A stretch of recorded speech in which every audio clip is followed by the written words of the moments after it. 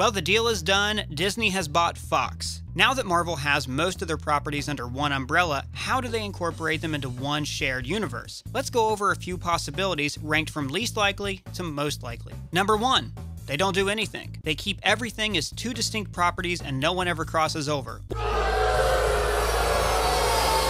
Or they stop making films to concentrate on rebuilding their POG empire. Like I said, least likely. Number two, all previous X Men and Fantastic Four continuities still exist, but in a parallel universe. Characters can still visit each other through interdimensional gateways. This is what DC does with their CW shows, and also Barry Allen sees a version of himself from the 1989 TV series, implying that all DC properties exist on separate Earths. Still, it's not much fun if these characters only interact when they have a speedster run on a sci fi treadmill. And this is also assuming that Disney even wants to keep the current X Men and Fantastic Four franchises going. Fantastic Four, no way but maybe the X Men. Dark Phoenix is being released in 2018 with the prequel cast they've been building up since 2011. There's also a New Mutants movie, X Force is in development with The Gifted and Legion on TV. Not to mention Deadpool, the highest grossing R rated film of all time.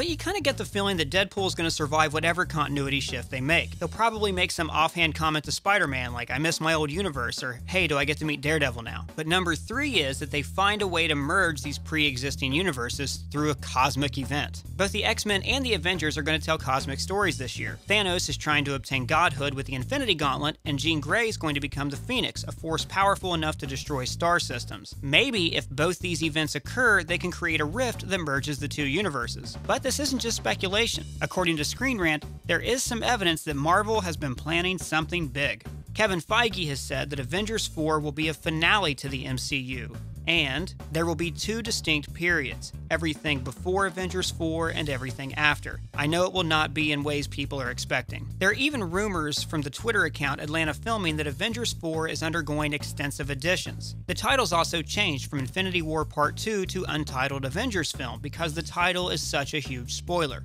But what does this mean? Probably nothing, but consider this. Spider Man was added to Civil War late in production, but they made plans to include him from the start. If Marvel knew that Fox and Disney were approaching a deal behind closed doors, then they would start to make plans. So maybe these filming editions include characters like Professor X and Wolverine, or perhaps Thanos will get all the heroes together to fight like in the 1984 comic book Secret Wars. that sounds like fun, but it also sounds really complicated. The X Men canon is a sloppy mess, with continuity errors from two prequel franchises, a timeline rewrite, and characters who don't seem to age even though there's 10 years between installments. Or as Deadpool puts it, these timelines are so confusing. But Number four, the most likely solution is they recast and reintroduce most of the Fox characters. It's likely some of these origins will happen off screen or during credits, like they did for Spider Man and the Incredible Hulk. But there's a problem here too. If mutants are suddenly appearing around the world, where have Xavier, Magneto, and Wolverine been? Reed Richards is a genius scientist. Why hasn't he encountered Tony Stark? Well, stay with me on this. Maybe the Fantastic Four and X Men properties have been in the Marvel Cinematic Universe all along like in Back to the Future 2 when Marty McFly was secretly helping himself behind the scenes. And now I'm talking strictly as a fan that can't wait to see these characters unite on screen. Reed Richards is a scientist renowned for his work in energy, so he works on the Tesseract project with S.H.I.E.L.D. But because he's a genius, he figures out they're going to use the Tesseract to make weapons and he jets. But he uses the knowledge he gained to finish his own project, teleporting ships into the vacuum of space. And that explains the origin of the Fantastic Four. Ben Grimm is a fighter pilot, but his career ends when a small bogey crashes his plane, and that bogey turns out to be Iron Man. Johnny Storm is a race car driver when his career was cut short by a maniac with electric whips in Monaco. Susan Storm is minding her own business, making a deposit at the bank when the Chitauri attacked. This is her here. And Doctor Doom?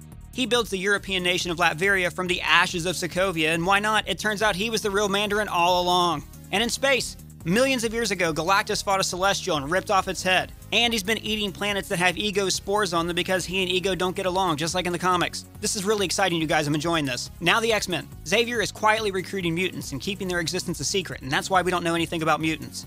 Back in World War II, Magneto was experimented on by Hydra, and Captain America liberated his camp. And you know what? Wolverine was there too. It's like the Star Wars prequels. Everybody knows everybody from before. And also, years later, Wolverine was in special ops and fought against or with the Winter Soldier. Maybe Hydra had a spare tank where they added vibranium. Wait, oh wait, I can say it now. Adamantium to his skeleton. Maybe Wolverine was in Budapest, and we'll find out why the Black Widow had red in her ledger because Wolverine was there. He was a part of this too. And finally, Scarlet Witch and Quicksilver. They're not miracles, they're mutants, and the Mind Stone activated their latent mutant abilities because they can be mutants now. Anyways, we should all be really excited about this and try to ignore the frightening consequence of the culling of one of Hollywood's oldest studios. That the homogenization of the creative impulse creates a society of joyless conformists where art is manufactured for us to consume, never to enjoy. But we get to see Wolverine fight the Hulk. How do you think Fox should join the MCU? Be sure to subscribe and leave a comment below.